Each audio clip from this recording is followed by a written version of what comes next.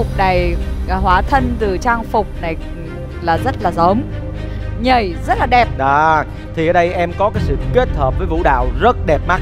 Và càng về sau nó càng lôi cuốn nó càng hấp dẫn hơn. Và lúc đó là không thể rời mắt ra khỏi em luôn cứ thế mà nhìn em cho đến tận phút cuối cùng của bài biểu diễn này.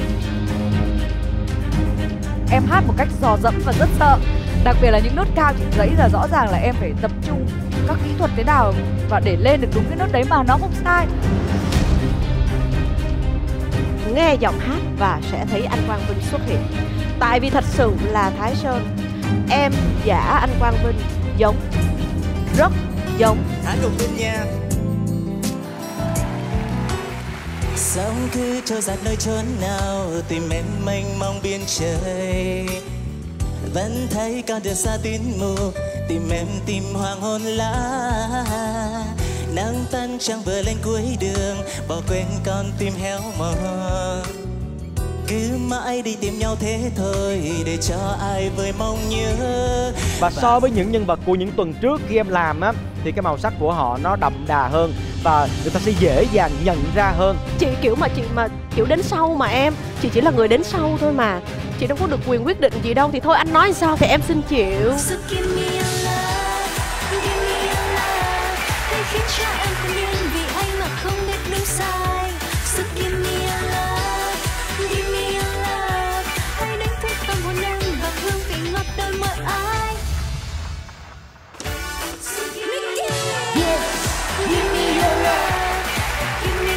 Love, love, love, love.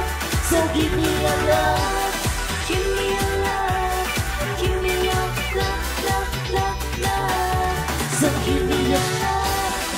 Sao? Với ba người chúng ta là bạn ấy thể hiện ba cảm xúc khác nhau nha. Đến anh là một cái sự thả thính đến với chị mỹ linh.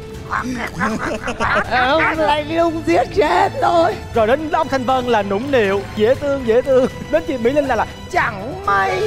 À.